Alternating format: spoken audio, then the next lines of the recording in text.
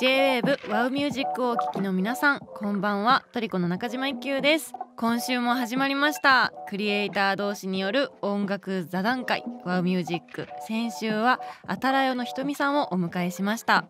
あの名曲の制作秘話とかもたくさん聞けてすごく充実した1時間だったんですけど今日はコシュニエの中村美久さんをゲストにお迎えして深夜に音楽対談をお届けしたいと思います。コシュニエの中村美久さんはですねすごく古い中ででも音楽の話をあんまりしたことがないかもしれないと思って今日は初めて聞くこともあるのかなと思って楽しみにしております「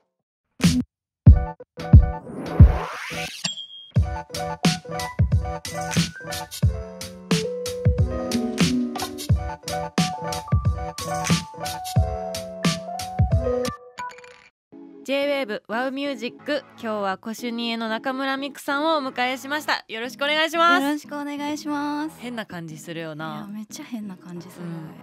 実は私とみくちゃんはもう10代の頃からそうお友達で。今日まで。今日まで。今日までもう超仲良しだったんですけど、うん。ラジオで2人で喋るとかどっかで対談するとかもなかったんでちょっと今日は中村美久さんの音楽にまつわるいろいろな話を聞かせていただければと。やだ。音楽の話とかすることないもんな。いよな。なんかバンド全体の話とかはするけど、うん作曲とか作詞とか、うん。そういう細かいとこの話はあんまり。あんまりしたことないかも。うんちょっと今日はじゃあ話したことない話っていうかうちが意外と知らんかった話めっちゃ出てくるかもって思いながら今うん。日挑んでますが、あはい。そうであればいいのになって。全部知ってたりして。全部知ってる可能性が。はい。じゃあちょっとまずはルーツ的なところを聞きたいんですけど初めて音楽に触れたのは何歳ぐらいの時なんですか？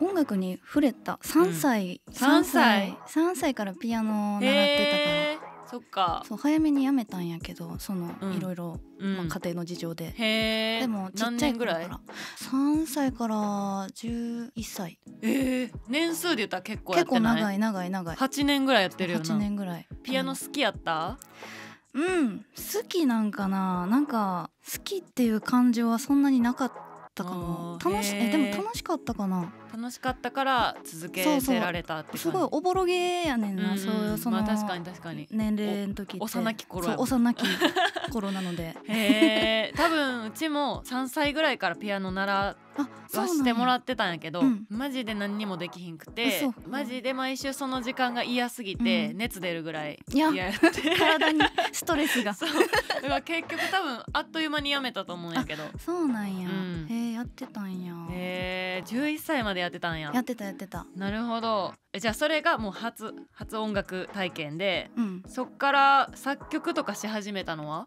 は高校生になってから、うーん。それはピアノで？ピアノいやギター。もうギター持ってたんや。楽器屋の前通った時に、うん。青いストラトを見つけて、うん。聞いてみたいなと思って中2か中2の時にうん。そう思ってうん。買ったんやけど、うん。アンプにつなぐってこと知らんからさ、うん。その三味線みたいな音 ペリペペリンペリンみたいな音しかせんし何これと思って。あれなんか思ってたのギャーンみたいなやつ出えへんねんけどみたいな。そうそうめっちゃ思って、それでも弾いててちょっとやめてたんやけど、高校生になってバンドをやろうと思って、うん。コピー版やっててそのつながりで作なるほったどな。一挙は？えうちはその3歳ぐらいの時のうん。何にもならへんかったピアノが 多分初めて楽器弾いたうん時やけど、その時は全然もうピアノとか楽器とかやりたくないって感じで歌うのがめっちゃ好きやったから小学校ぐらいの時とかに友達とカラオケとか行き始めたうんうんうん。あたりで多分音楽めっちゃ好きみたいな感じになったと思う。え早い。目覚めその頃から歌やりたかったんや、じゃやりたかったやりたかった。すごい早い。そ早い早い。私、うん。全然全然そんな時期は意識してなかった、歌うみたいなこと自分が歌うと思ってなかったうから、えー、そうなんや。そうそうそうそう。そのなんか将来の夢みたいなさ、うん。なんかを卒業するたびに書くやんか え何書いてたんじゃその時？私ピアノの先生。ピアニストとかピアノの先生とか書いてへえそっちやったんや、うん、だと思ってたんだけどこんなことに。でもなんかコシュニエの音楽聴いてたらなんか納得する部分もあるっていうか音楽をすごい大事にしてる感じ。自分が前に出てうん。パフォーマンスしするっていうことよりもうん。なんか音楽の方に重心がある感じがするっていうか。ん嬉しい。当たってますか？この占い。出た占い好きやな。当たってますか？あた当たってます。やっぱり。はい。CD とか買ってました？買ってたかな？いや買ってた。え初めめて買ったのいつ？でも私その、うん。幼き頃の記憶がマジでゼロやから、忘却の彼忘方曲の彼えじゃあもうあるある記憶の中の最最古の CD は？はビョークやな、へえ、うん。おしゃれ やば。やばいそれ何歳の時？いや高校生の時に見つけて、その映画があるやん。うんうんうん「ダンサー・イン・ザ・ダーク」っていう。あーうんうん。あれを見た時に衝撃を受けて環境の音から音楽になっていく、うん。そのミュージカルが入った映画なんやけど、うん。そこら辺に転がってるやん音楽って、みたいな発見があってそういうところに衝撃を受けて、サントラを買った。へー。じゃあコシュニエの曲とかにも結構楽器じゃない音みたいなのが入ってたりするやん。うん、多分そうやと思ってんねんけど。その占い当たってます。当たってる？当たってる。やっぱり。そのなんかそういう環境音じゃないけどとかうちめっちゃツボであコニュそう。ココシュニエの中でコニュコニュって言うんだけどちょっと先走って最後の音先来てもうたけど早いよなコシュニエの音楽の中のツボの一個が、やっぱそういう音楽の面白さ楽器じゃなくていいんやっていうところとか、声だけである程度曲作ってまうとことかだって前「Who Are You」どっかで流してくれてたあれ大好きそう「Who Are You」流してくれてるいやもううちあん中でああん中でかうちの中ではもうあれがもあ嬉しい。ツボ中のツボコシュニエのいろんな曲の中でも。なんかストレートやから、うん。ああいう音楽ってその、うん。なんやろ構成とかも考えずにただその自分のうん。並べたい音をペタペタペタって並べうん。て作ったみたいな、うん。そういう音楽やから、うん。そういうの愛してもらえてやっぱ嬉しい。へーでもなんかトリコも展開とかうん。複雑やったり、こういう感じみたいなのあるけどコシュニエには一個一個いろんな展開あるけど全部に理由があるように聞こえるっていうか。いやその傍若無人さみたいなのはやっぱかっこいいでそのトリコのな。野生的な野生的。あの、うん。それこそ超自然って感じ。超自然って何？あし超自然か。超自然ピアノギターできるやん、うん。でもなんか他にもいろいろ弾けたりする。一応一通りバンドでやってはきた、へベースもやったしキーボードもやったしあキーボードはそうかドラムもやったし。え？ドラムでなんかめっちゃ速くて1分ぐらいで終わるパンクバンドみたいなやば。え？それ初めて知ったよなうち多た いやだって分もっと前やもん。せやんな。やば。え それ以外は管楽器とか。あそっち系はやってないんやけど、うんアレンジをしてるって感あー打ち込んだりとかしてるって感じしてるしてる。めっちゃ入ってるもんな。めっちゃ入れてる。なんかえそれって昔から好きやった？そうやな。そういう管やっぱり楽器の音みたいな。音が好きなのもあるけど、音楽に必要になってきたっていうのが大きいかも。なんかドラムが私ら結構変わってきてるけど、ドラムがおらんくなった時にドラマっていらんくねってなって打ち込み始めたしなるほどそのその時に応じて応じて何かをその学び取ってやっている感じ。だから多分基本クリエイトすることが好きなんやろうな。でもそういうピンチも成長のチャンスに変えて、うんいろんな知識とか技術を得てきたみたいな。出てきた、それが今のコシュニエにつながってるみたいなうん。ルーツになってるっていうう感じ、んすごいそんな、えーコシュニエの中村美久さんの音楽人生で特に影響を受けた曲聞かせていただきたいんですけど、さっきもはい話似てたけど、そのビョークのうん「I've Seen It All」っていう曲があって、うん。電車の音から音楽になっていくっていう。へもう衝撃的でーうん。それにかなり影響を受けてるし何回聴いたか分からへんぐらい聴いてる。へー。なるほど、うん続いては楽曲制作について伺いたいんですけどさっきもまあちらちら楽曲の話とかはしたけど、うん。そういえば知らんかったなと思って詩が先なのかとか作曲が先なのかとかどういう順序でいつも作ってることが多いの？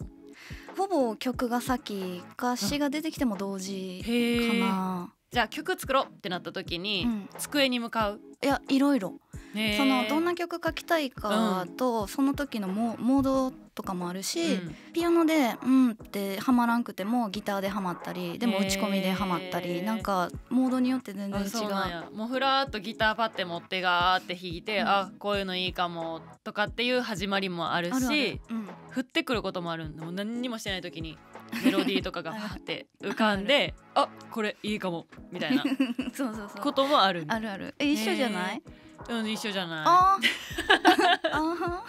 うちはででも基本もうなんかあのメンバーのあそうやな。そう、みんなで作ったやつにうん。歌を載せるっていうのが役割やから、うんうんうんうんゼロ一っていうのはあんまりないから、なんか01じゃなくてもさ、うんうん。何もない時に思い浮かんだうんシートメロディーがあさーその生きたりとか。まあうん。それはあるある、うん、その時すっごい気持ちいいやろうなって。うん。メンバーと一つになった気がしそうすごい。あー確かに。ハマったみたいそうな、ハマった。確かに。だってみくちゃんはもう01どころか099ぐらいまで やってるもんな、うんそうやな。やってるな。イメージで言うと、うん、うん。でもみくちゃんはほんまに10代からさっきもお友達っていう風に言いましたけどその時からもう才能がバーンってなってたやん、バンってなってた、うん才能がもう同じ学校に通ってたんですけどその中でも、まあ、音楽の学校で1つ2つ5つぐらい頭抜けてたっていうかほんま？頭抜けてたっていうか頭飛んでたみたいな。頭飛んでた。頭飛んでた。みたいなところがあってでもなんかそこから結構長かったっていうか人から見つけられるまでに。そうやね、うんなんかその期間とかもう曲いっぱい作って、うん。いっぱい発信してたと思うけど、うん。なかなか思うようにいかへんみたいな話も当時もしてたししてたしてた。2人で会ったりとかして。そういう時に曲作るモチベーションってどこから生まれてたん？いやもう作らんと生きていけへんっていうところやな。ほんまに。そこが一番にあるかも。音楽がないとポンコツやし。うーんそんなことはないけ ほど まあでも音楽っていうものがみくちゃんの中のいろんな要素の中で飛び抜けてるのは確かにわかるっていうか、ないと生きていけへんっていうのは。そうそうそう。そこが一番大きいけど、うんでもやっぱりその当時からずっと長い間応援してくれてるフうんうんうん。ァンの人もおるし、うん。やっぱりああいう顔見たらうん。嬉しいよな、へえ、じゃあファンの人がすごい自分の力になってたっていうかそのモチベーションにつながってたみたいな。もうあると思う。いろいろあるけうんどそれも大きいと思う。うーん。何がモチベーション？なんやろ。環境は違えどさずっと続けてきたわけやん、うん。今までさ、うん。同じように。うん。そのモチベーションは？モチベーション？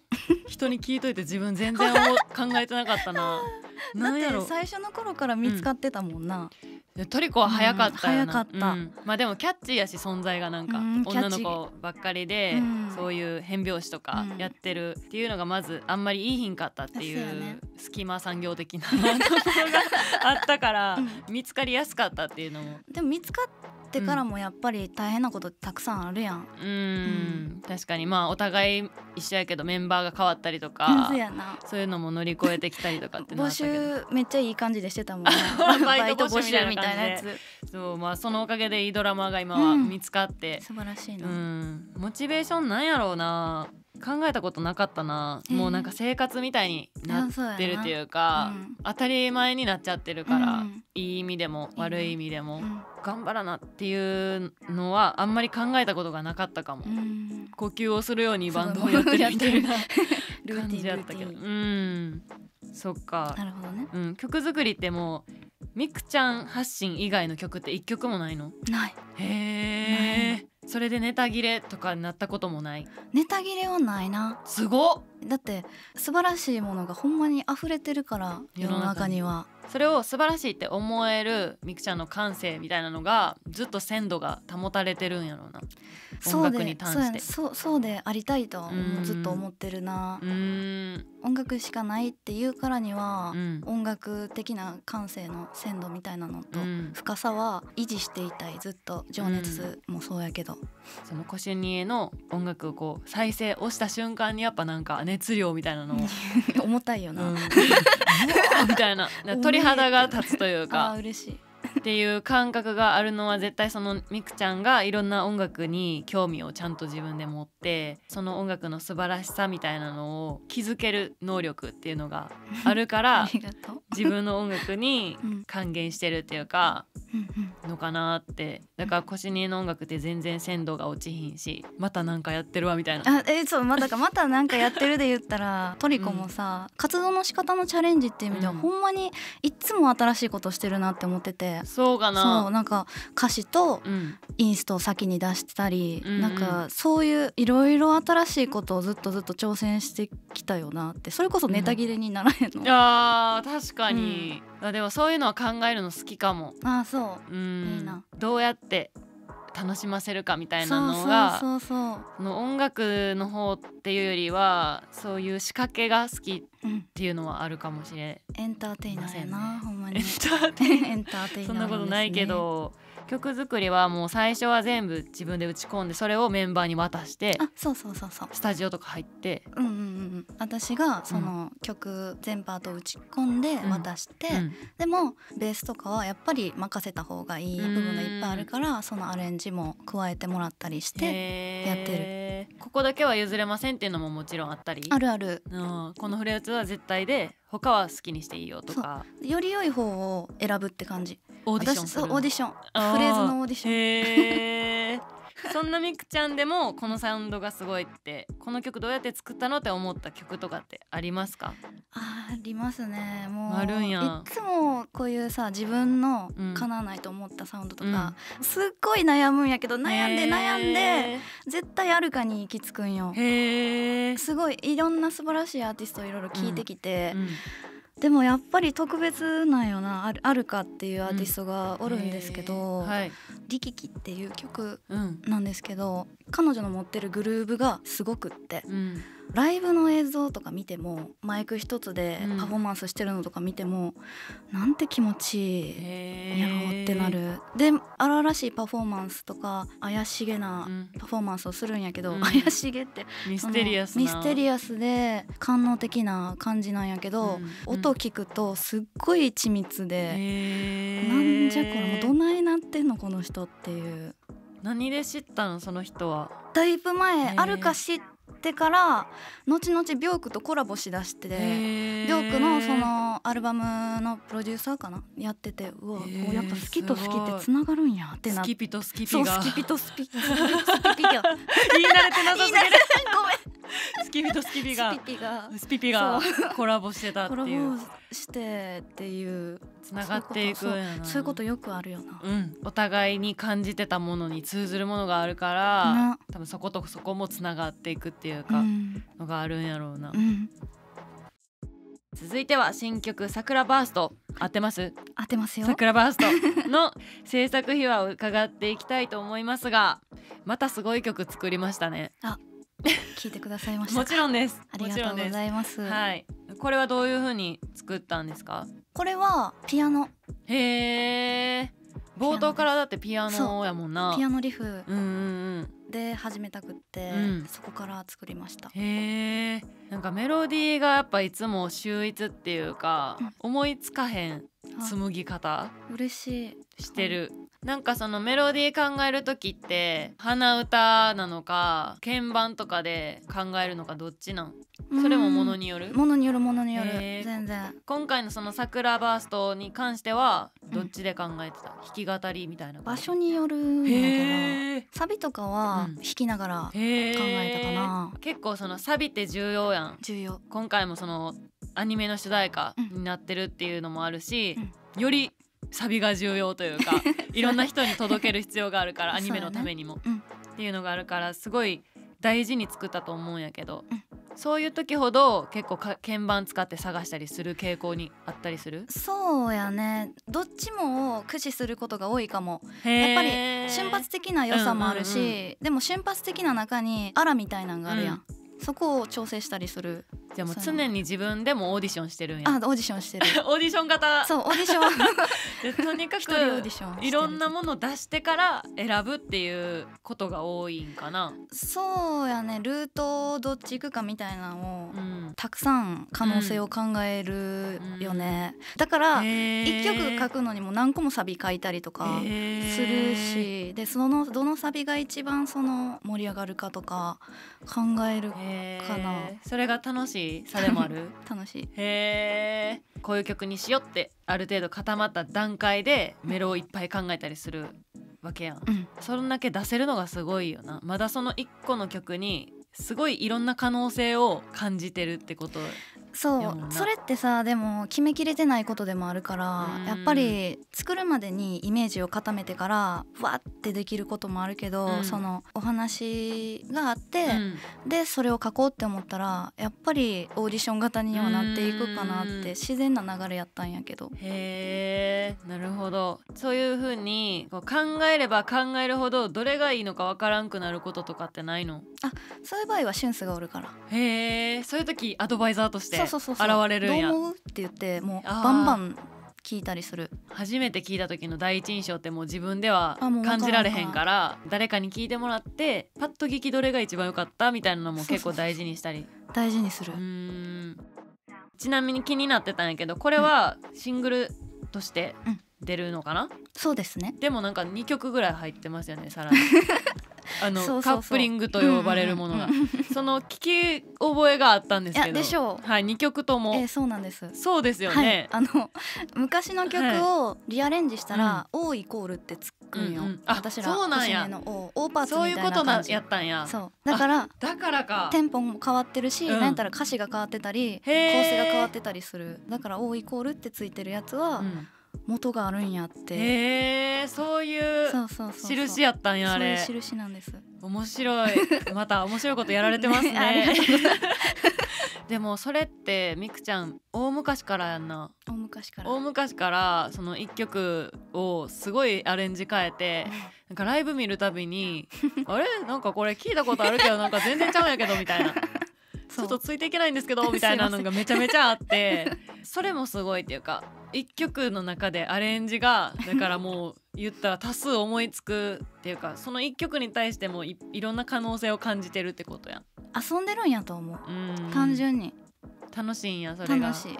だからそのうん。過去の曲を2曲入れるっていうことをしちゃうところが潔いっていうか、昔の曲やからっうん。て古くなってうん。いくもんじゃないっていうか、うん。また今も新しい耳で聞けたら一番いいやん、うん。やっぱ。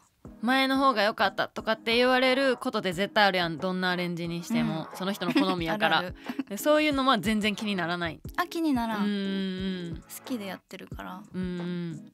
主題歌めちゃくちゃやってるやんだっていろんな。そうやらせていただいてます、その時と好きに作る曲と、こうマインドっていうかチャンネルっていうか違ったりするところはあるん？スタートは違うけど、うん。結局やっぱ私音楽書くのに自分を削って入れるタイプやから、うーん。もうアニメだけのことを思ってみたいなのうん。を私が歌う必要なくなってくるやんか、あー。思ってないこととか言ってもしゃあないからさ、あ まあでもうん一概には言えへんけど、うん。うん。まあでも思ってないことって出すの難しいしな逆に。難しいよな。自分の中にないから。一番やっぱそこが濃くなるよな、思ってることを、うん深く思ってることを濃くなる少しス多分伝わると思うしそういう方が、うんサウンド面でこだわったところなどありますか？桜バーストについて。やっぱりその打ち込みの面白さ結局聴く音楽やっぱ打ち込みめっちゃ多いし、その面白さに気づいていろいろやってきたけど、うん。今回の曲はバンド感というか、うん。そういうのにちょっと立ち戻った感じはあるな。これドラムは誰が叩いてるん？拓也さん。初めての人？初めての人。あもうだって今もういろんなドラマをもあう。楽しいけどな。いろんな人と合わせると、うん。あそういう解釈なんや確かに。ある。あのそれによって自分新しい自分が引き出されたりとか、うん。引き出し増えたりってのもありそうやもんな。ありそうような、ん。なんかもっと数を重ねてはいきたいけど、うん。ドラマありきでもいいし打ち込みドラムでもいいし、うん。なんかもっと幅広げていけるんちゃうかなってうん。自分では思って。るなるほど。じゃあ今はすごいいろんなドラマーと、いろんなドラマうとん。合わせて。えーそれも楽しみですね。う。ん。うん、ありがとうここではライブについて伺いたいんですけれども、はい。長らくライブ見てないなと思って。いや私も見てないよな、そっか。だいぶ様子が変わってそうやなとは思ってるんだけど。様子変わってそう、うん、ライブの。なんかその演出面とか、うん。そのうちが知ってるコシュニ最後見たのいつなんやろってぐらい見てないかも思い出せへんな。思い出せへん。なんか挨拶はするんよ。デビュー前とかじゃない？マジ？分からんけど。でもなんか最近その SNS 上とかでは追ってるからそのみくちゃんのことを。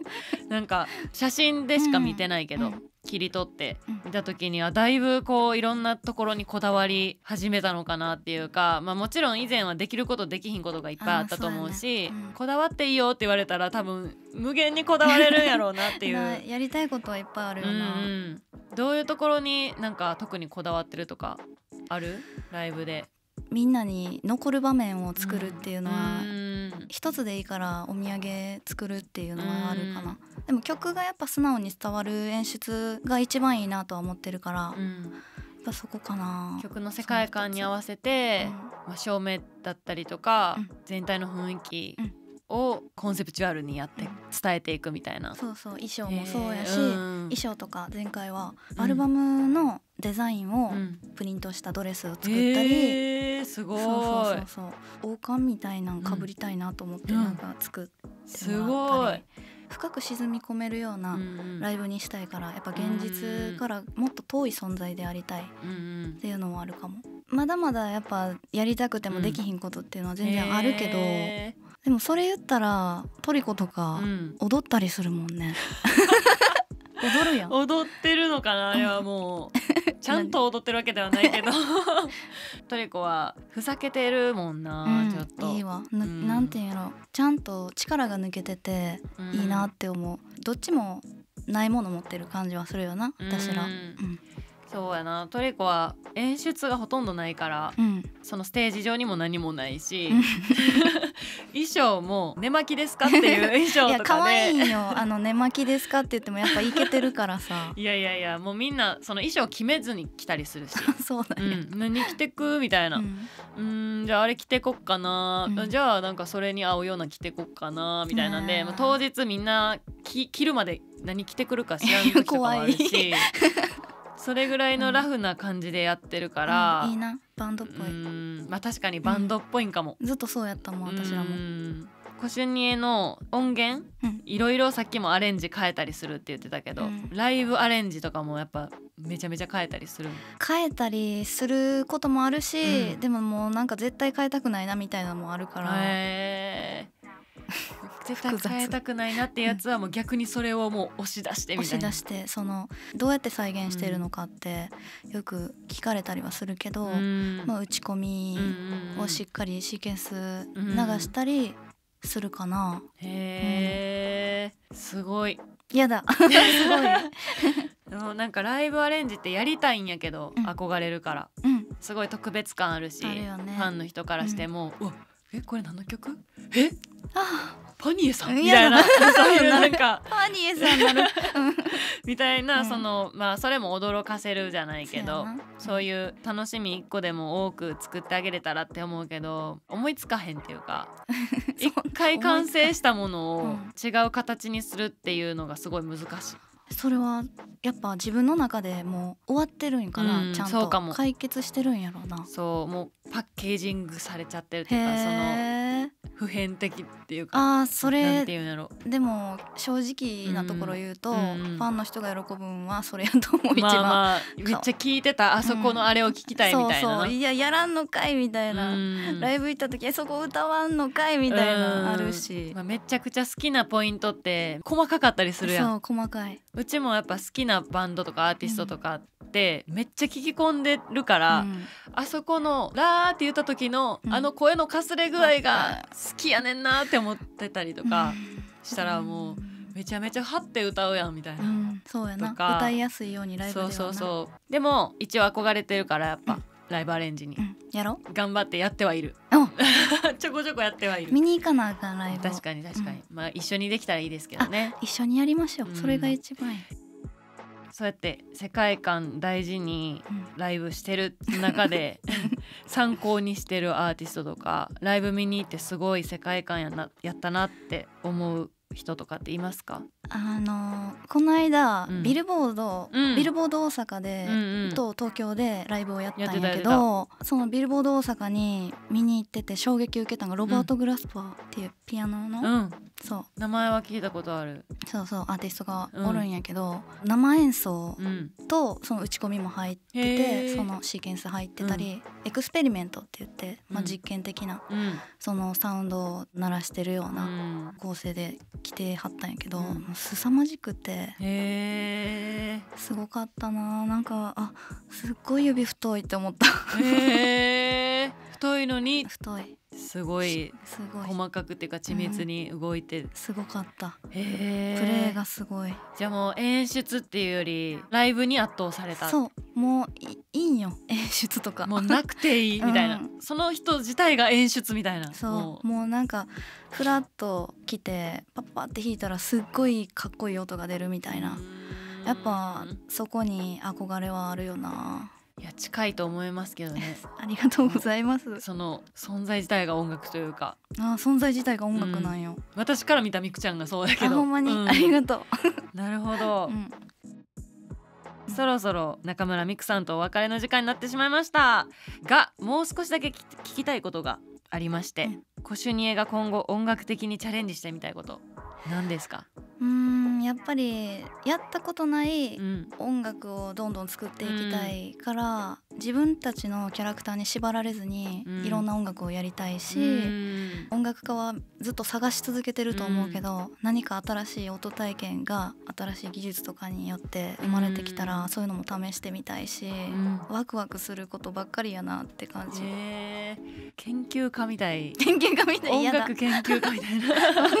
すごい。あとコシュニエとして中村美久さんが音楽を通して伝えたいことって何ですか？まあ伝えていきたいっていうとすごい語弊があるというかちょっと態度でかいというかうん。はあるけど、やっぱり音楽が素晴らしいもんやと心から思ってるから、うん。そういうのをみんなで共有していきたいなっていう気持知っち。ていきたい知ってほしいというか、うん。音楽の素晴らしさを知るきっかけになれたらいいなっていううんところなんかな。うんトリコの中島一休がナビゲートしてきました。ワウミュージックいかがでしたでしょうか？昔からの友達でもまだまだ知らないことがいっぱいあったんやなっていうんで時間があっという間だったんですけど楽しかったです。来週もこの時間にお会いしましょう。ここまでのお相手は中島一休でした